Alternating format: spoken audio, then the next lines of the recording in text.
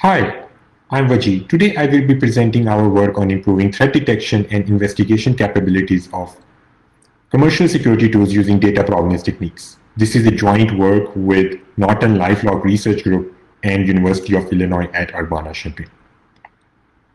So cyber attacks are becoming increasingly targeted and sophisticated. A special kind of these attacks is called Advanced Persistent Threat or APTs. These APT attacks infiltrate into target systems and try to reside there for a long period of time without being detected.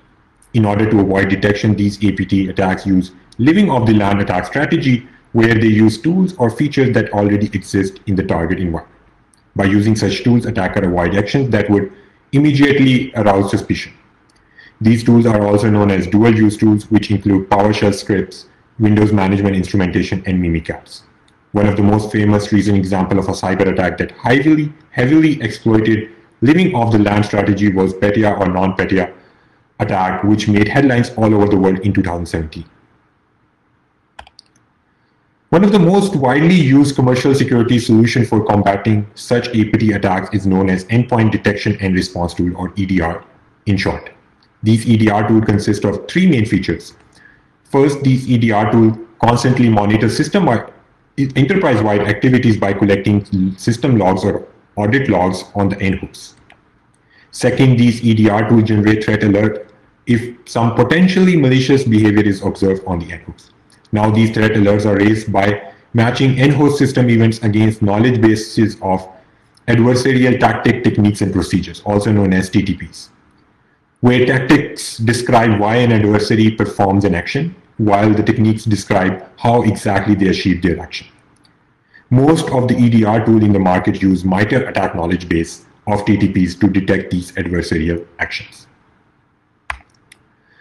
Uh, finally, once an adversary behavior is detected on the end host after matching against TTP, EDR tool generate threat alert.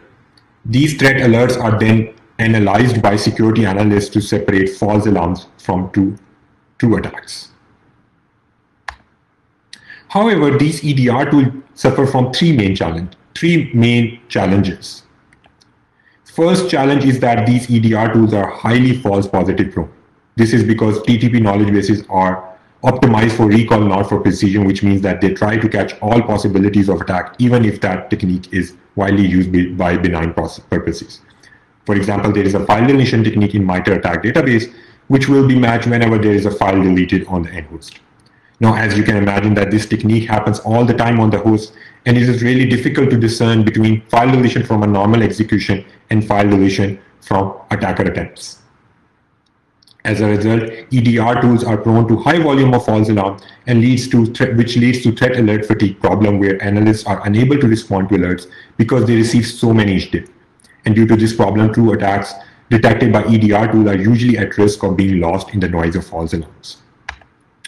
The second challenge arises from the dubious nature of EDR-generated threat alerts, um, such that after receiving a threat alert, the onus is on the cyber analyst to manually piece together the chain of system events and generate context around alerts for investigation. Significant effort and expertise are required to separate false alarms from true alerts, which can potentially delay the whole investigation process. Finally, the last challenge arises from the high volume of system logs collected on the end host and long-term storage cost of such logs for, uh, for after the fact investigation.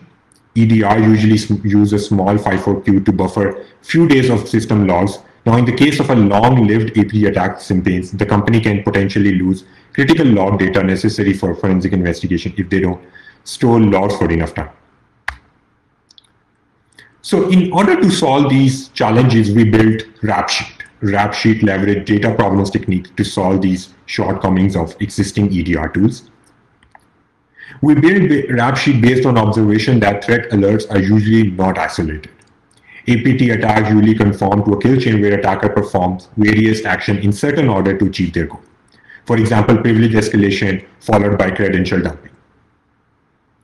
Now that if we can piece together se these several causally related actions or alerts, we can do much better risk assessment of these threat alerts.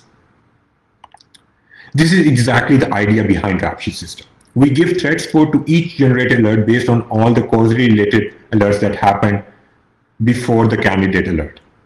Moreover, correlating all these threat alert provides security analyst, analyst a compact visualization of multi-stage APT attack, which can possibly accelerate the investigation. In order to reason about causally related alerts happen in the enterprise, we introduced the notion of tactical provenance analysis, which is derived from classical data provenance analysis. Before we look into how tactical provenance analysis work, let's understand what is data provenance. So data provenance is a detailed history of system execution. It is usually represented as a graph where vertices represent systems objects such as file and, um, and processes and edges represent event relationship or causal relationship between them. Investigator can use these provenance graph to, to investigate threat alerts and find root cause of the alert using backward tracing query. For example, if mal.exe is making a connection to a malicious IP address, admin can use this graph to see how um, mal.exe um, was came into their system. Now let's look how data tactical provenance analysis work by first understanding the architecture of RapSheet system. There are two inputs to the RapSheet system. First, it needs system logs and, uh, and, and second, it needs threat alerts. RapSheet uses these two inputs to build provenance graph database. And then um, upon incident, in, incident investigation, RapSheet perform tactical provenance analysis, where RapSheet first generate the, the, uh, the provenance graph of the host under investigation. Then RapSheet generate initial infection point graph. And after that, the it generate tactical provenance graph. Finally, RapSheet uses these tactical provenance graph to assign threat scores and triage threat alerts for investigation. I will go over these three components in much more detail in next few slides. So first we will build the IIP graph or initial infection point graph. For that, we first generate backward tracing path of the, all the given alerts. Um, let's say we have three alerts generated in our, insist, in our enterprise, which are shown on the slide consider uh, these vertices to be um, system objects such as file or processes. For these three alerts, we will generate backward tracing path, which, which will give us the ancestry of these alerts um, or, or the chain of events that basically led to these threat alerts. Once we have generated the backward tracing path, we merge the paths um, which are uh, part of the longer paths. For example, for our running example, the part two can be part of one, so we merge part two into part one. Once we have generated the backward tracing paths, uh, we find the first process or the actor that raised suspicion in all these paths. Our intuition behind that is that after initial compromise, attacker can launch various processes which will have their own separate path. For example, Vertex V in our running example um, launch process with Vertex W and Vertex A. Um, so we generate a subgraph rooted at the those initial infection point vertices, and we call these um, subgraph initial infection point graph or IIP graph. For our running example, the final IIP graph is shown on the right-hand side of the slide. once we have generated the IIP graph, we will generate the tactical provenance graph. The, the reason to generate tactical provenance graph or TPG from IIP graph is that we want to find the exact temporal ordering between all the causally related threat alert that, that exist in the IIP graph. Thus, we perform happens before analysis using timestamps on IIP graph and draw sequence edges between those uh, threat alerts or events.